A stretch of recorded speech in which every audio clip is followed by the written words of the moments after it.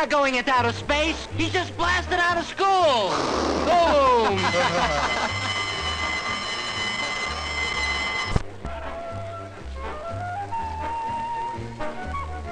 Really great, man.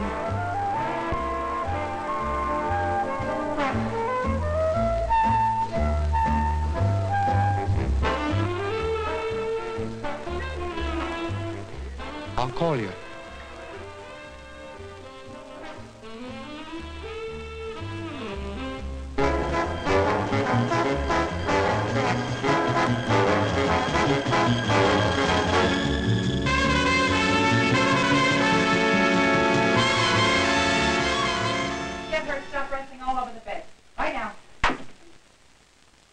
You more. Feels pretty good, don't? Sure. In my first steady job, Pop. I remember how it was. Yeah? Mr. Willard from the school. He called me. Yeah? He's got some idea maybe it's not the right thing. Ah, Mr. Willard. What does he know about me? What does he know about work? Look at you. Gee, you didn't even get past the sixth grade. You're doing great. Good job, same place all your life. That's important, Pop. You told me that. Think we should talk some more? Later, when the kids are in bed? I don't know, uh, Pop. Uh, Bonnie said I could stop by a while uh, after homework's finished. Oh, well. Man, that kid stuff's all behind me now. To tell you the truth, Doug, I don't mind homework. I even like school. Bonnie, it is different with a girl. I don't see the difference. You don't. No, I think lots of boys like school.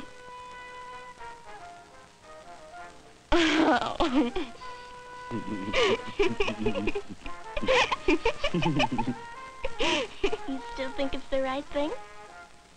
yeah.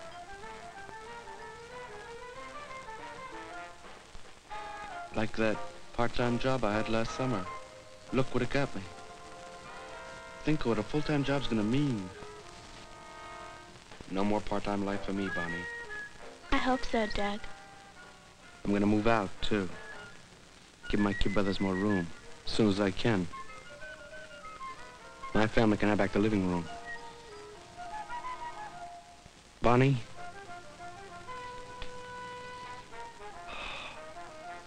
Yeah! But look how many men in charge of big companies started this way. Can't wait forever, can you?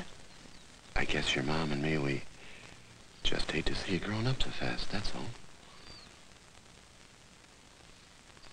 The job's right. For me.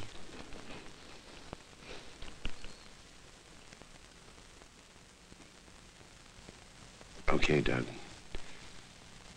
We trust you. Just hope it's the right thing. Pop. It's like I'm alive. Like I'm finally waking up.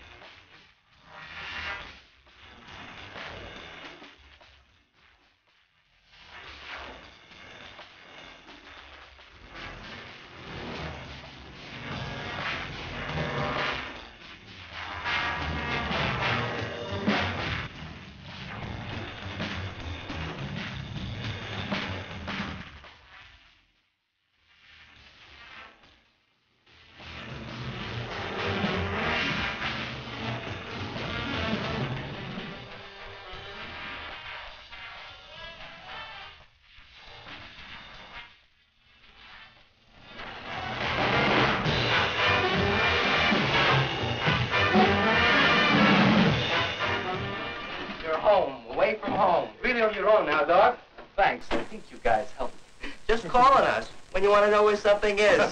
Thanks. Hey, I'm gonna buy you guys a sandwich from work, huh? Train check. Uh, can I get home and beat the books? English test tomorrow. yeah, me too. We got this. Oh, I'm sorry. We got this new math teacher. You know. You mean Albert, that young guy? He's really pushing us. Hey, it's like learning a story. They finally invented a way to inject math into your bloodstream. Square of the iPhone. Come on, York. Sounds crazy. Well, we'll see you, man, right? Thanks a lot, you guys, huh? That's okay. Looks good on you. See ya.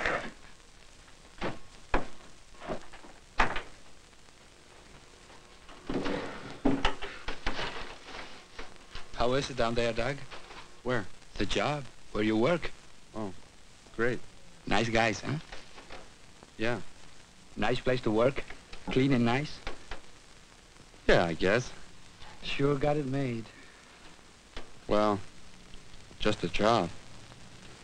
And this room, oh man, to have a room own. Yeah. I gotta talk to my father and mother about quitting. He works nights and she works days, busy with all the kids. I can never get the two of them together at the same time. You will. It'll happen. I don't know. Got an uncle. Keeps talking about college for me, but he doesn't understand. No. You know, when we first came to the city, I was oh, maybe four years old. This uncle, he gave to me a radio tube, burned out one. But I never had such a thing before. I, I carried it in my pocket, slept with it at night under my pillow. And it glowed, no kidding, it was alive. I still got it. But you got a lot of other ones, too. Got a lot of equipment.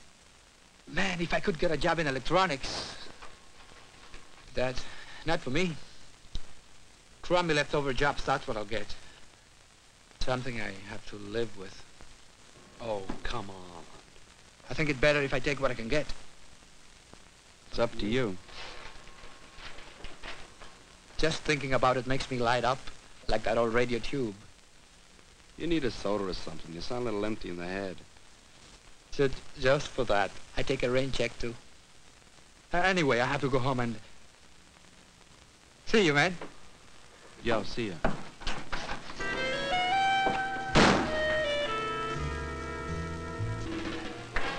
The job's going fine. It's, oh, it's a little monotonous, that's all. But I'm looking around in my lunch hour for something better. You used to talk this way about schoolwork, too. Maybe. But now I can choose.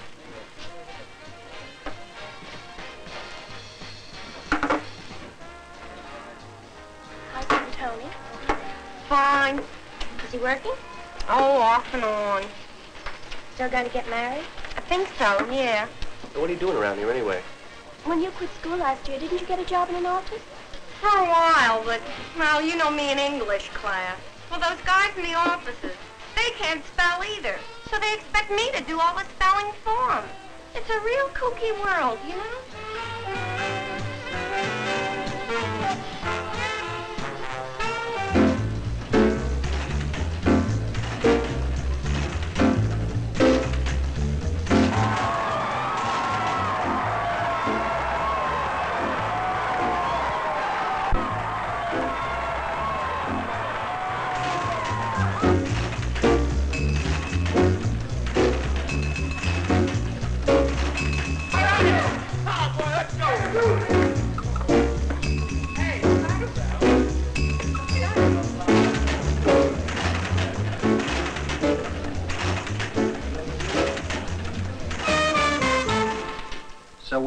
Begin retraining our older men in the operating procedures of the new Milo automatic sorting and filing machine.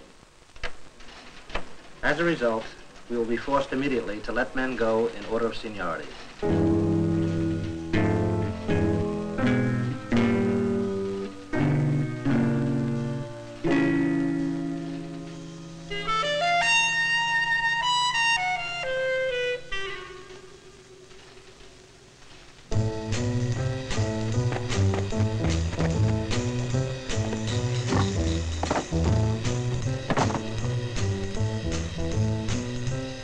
Come on, boys. Class is over.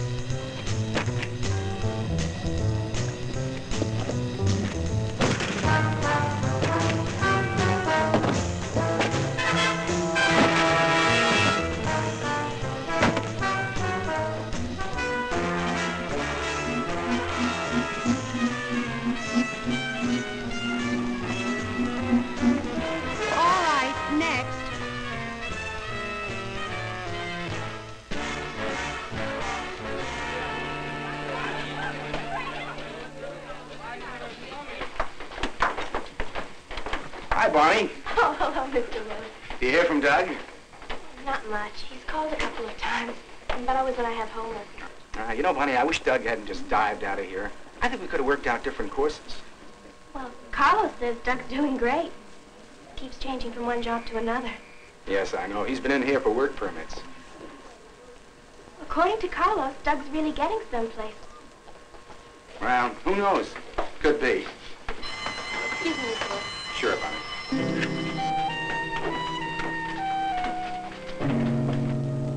Fellows, you have two minutes to finish those applications.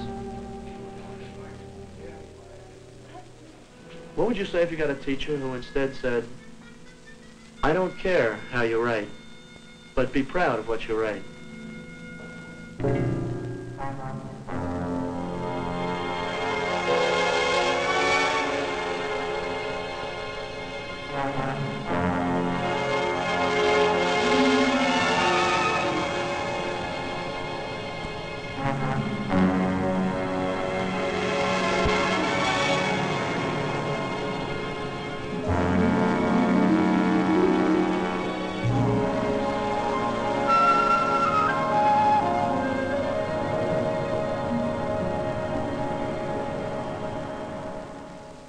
Yeah, we may have something. You out of high school? Yes, sir. Graduate?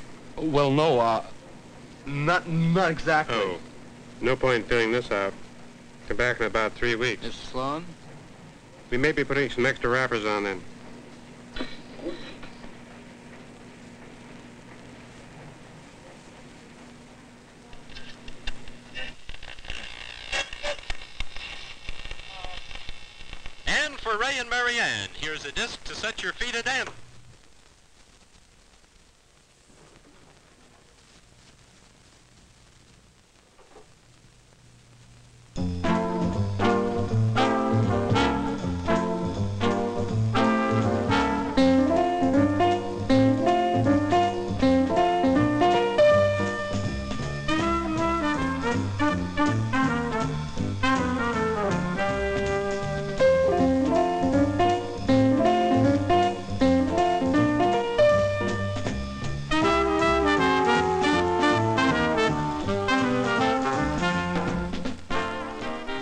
I went to look for you today. I was over at my folks' place. A real busy character, huh?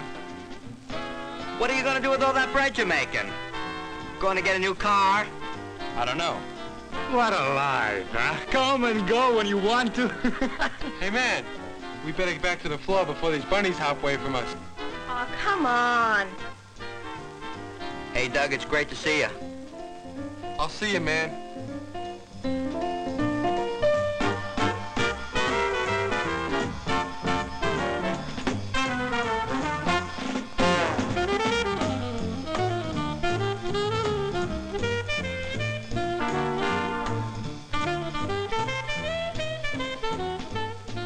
I gotta get going, Carlos.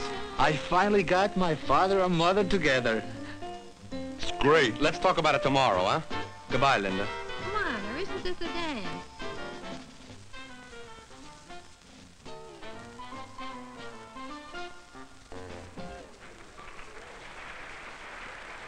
Doug Miller.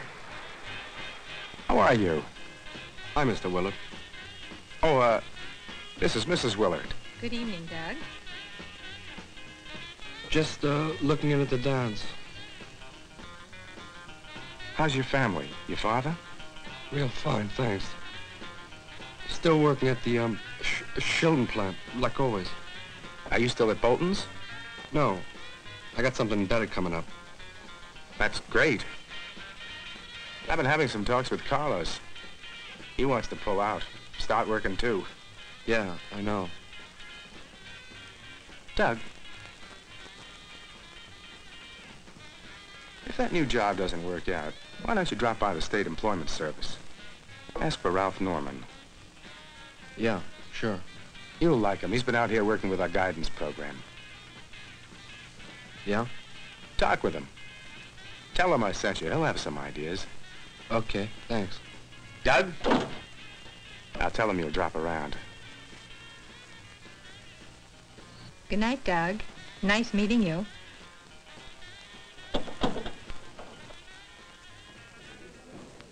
I see you worked at a filling station last summer. How'd you like it? I, uh, like the times I had a, uh, chance to, uh, help out with the motor. I like cars. Always have, Mr. Norman. Like to fix things, huh? Sure. Tried to get a job in a garage? Sometimes one thing. Not even those guys want to, you know. Doug, if you had a completely free choice, what would you really like to do in life? Get a job like my father. He's quite a guy, huh? 20 years on the same job. How often have you talked to Mr. Willard? A couple of times, maybe, when he called me in. Why should I talk to him? I wasn't in it for college. Oh, come on, Doug. You got the wrong idea. Mr. Willard is there for everybody. Yeah? We've been working with them to try to help you kids find the area in which you have talent. Things you can do that maybe you never even thought about, don't even know about. We know jobs. We know what the employer says he needs. Now, our job is to help you see where you fit. The things that you have to do nowadays to make yourself fit. I know where I fit, Mr. Norman. I know what I want. All my life, I've only wanted to get out of school and work like my father and his father. What's so wrong about that? Times are changing, Doug. It's different now.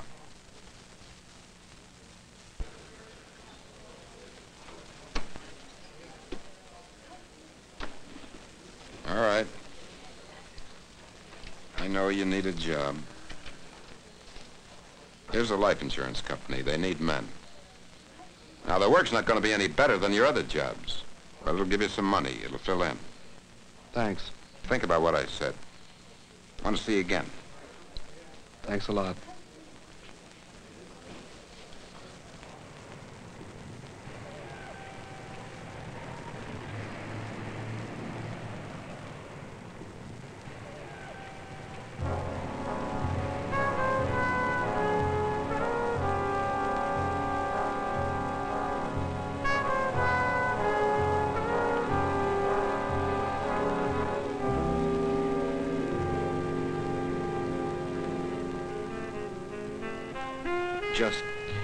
Temporary, Doug. Had some big layoffs at the plant. Just doing this to fill in. Keep some money coming. Just temporary.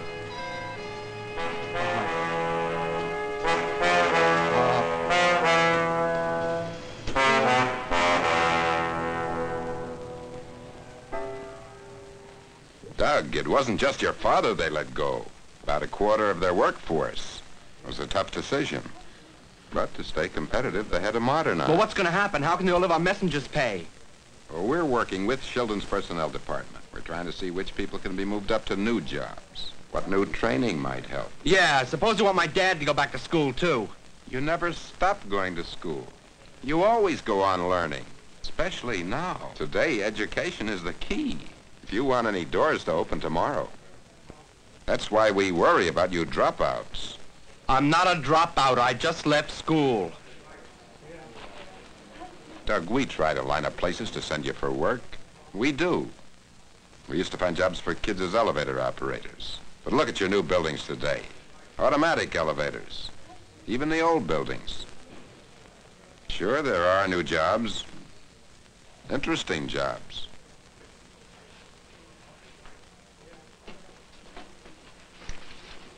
Here, look. 60 different jobs, all wide open and waiting. But They all want a high school education. They all want to see that lousy piece of paper. you're darn right.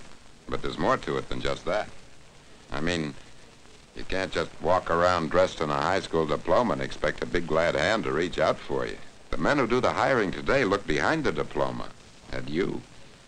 Now, you gain an awful lot in those extra couple of years it takes to earn that piece of paper. Just waste time. No, no. In the shop, you work with your hands. In math, you work with your head. In English or whatever. Just being there for two more years, learning to concentrate, to work on details, to finish a job. Why should employers take on kids who can't even finish one job? one thing you can do in this changing labor market, and that is to prepare yourself.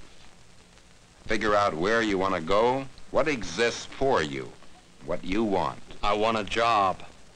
We can aim you at something specific, Doug, along with part-time schooling. Take this booklet home. Take your time, study it, think about it. I have no time, Mr. Norman. I need a job. You want to spend the rest of your life in some kind of a job that... All right.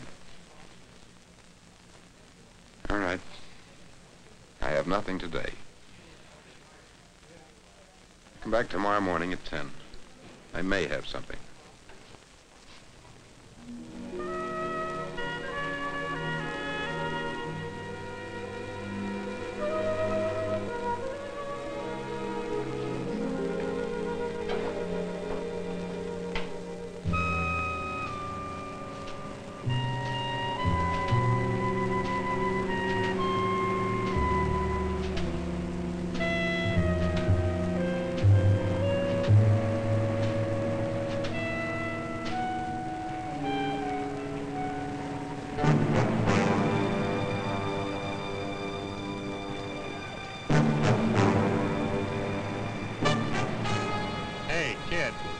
A cigarette for me?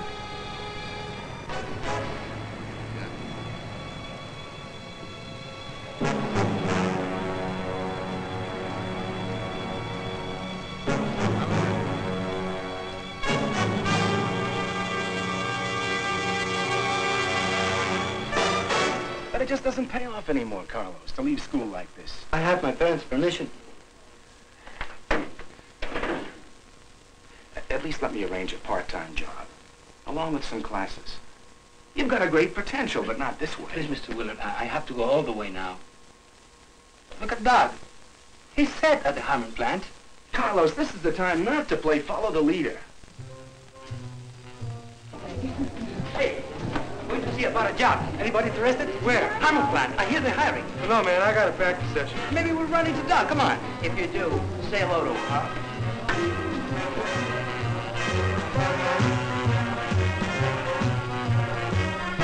Don't bother, kid. We're not hiring anymore.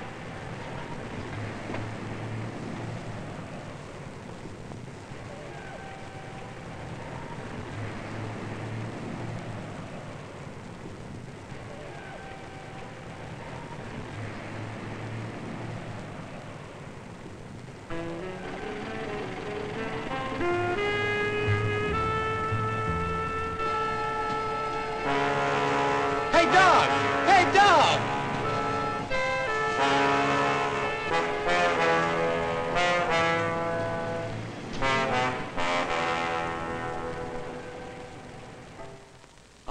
job isn't just a job anymore. The whole crazy thing is more complicated. It seems so simple. No, you just run around back and forth like one of those rats in one of those things at the lab at school. You don't know, Carlos. Nobody knows until you're on the outside. I know, Doug. I just have to look at my father and his job. And I just have to look in the mirror every day, and I know So don't you have to be even better prepared? to run into walls. Ah, you're an idiot, Carlos. You like school. See. So you're an idiot, see? Now look, you have to become what you want to become. Why do you have to be caught like your father? Look at me. I'm what my father is. Both of us. It's really crazy. Sometimes you have no choice. You always have a choice. Maybe the choices are lousy, but there's always something to choose. I had an offer, man. Didn't need a high school education. Real big offer. Work for a meal. You did that. No, I, no, but I had the choice. And it's a pretty lousy choice between doing that and moving garbage in a plant. And that's what it adds up to for me and my father. So if you go down to the employment service and ask Mr. Norman, they know. Unskilled jobs are drying up, and you dry up with them, and you get duller and duller. I was wrong, Carlos. You don't have to be a jerk, too. Better than your father. You're a guy who can. It's you, man. What's inside you?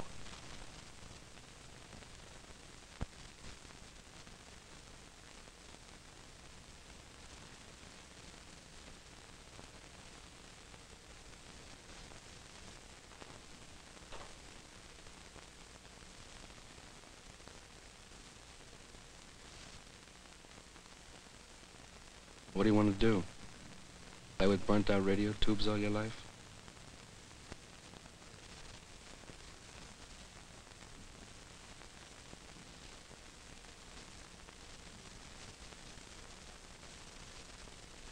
Then you come back with me. Why not? You are not, you're not such an old man. Come back with me. That's a simple choice. Not anymore, Carlos. Not for me. I'm not sure I have the guts.